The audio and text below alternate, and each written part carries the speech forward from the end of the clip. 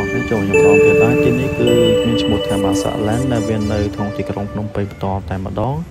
ហើយបាសាឡាននេះបន្តវាបើយើងនិយាយទៅវាស្តៀងជាមួយនឹង Pub Street ដែលនៅឯខេត្តសៀមរាបណាហើយអឺនិយាយទៅការ ដើរលេងនៅទីនេះគឺយើងមានអារម្មណ៍ថាវារៀងរីឡាហើយឈៀលខ្លាំងដោយសារតែជនបរទេសជាច្រើនដែលគាត់មកលេងនៅទីនេះដែរហើយអឺយើងមានជាស្រែកឡោកយើងមានជាបារបារាំងមានអីច្រើនមែនតើហើយគ្រប់ជាតិសាសហើយគាត់មកលេងទីនេះគាត់រំលេងសប្បាយហើយគាត់មកស្ដាប់ភ្លេងឬគាត់មកជួបជុំមិត្តភ័ក្តិភាសារឿង business ឬក៏រឿងរឿងអីតាក់ទងជាមួយនឹងការសប្បាយសប្បាយអញ្ចឹងណាបងប្អូន ចំពោះបងប្អូនដែលចង់មកលេងផ្ទាល់បងប្អូនពេលបណ្ដោះពីមានឯករាជ្យយើងជិះមកផ្លិនរ៉ូដាមណាផ្លិនរ៉ូដាមហើយអឺទៅដល់កន្លែងមើល OKD ហ្នឹង office OKD ហ្នឹងបត់ខាងឆ្វេងដៃទៅឃើញនៅក្នុងហ្នឹងគឺសុទ្ធតែបាបារាំងគឺរាប់សពកន្លែងហ្មងច្រើនមែនតើហើយអឺ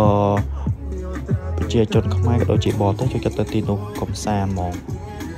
ហើយនេះមាន DJ មានអីចាក់ចម្រៀងឲ្យយើងរាំលេងកំសាន្តយើងទៅហើយជួនកាលយើងអត់ស្គាល់គ្នាគឺ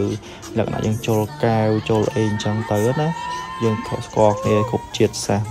តែខ្លះមកពីអឺរ៉ុបបារាំងខ្លះមកពីអង់គ្លេសខ្លះមកពីថៃមកពីជប៉ុនកូរ៉េទៅ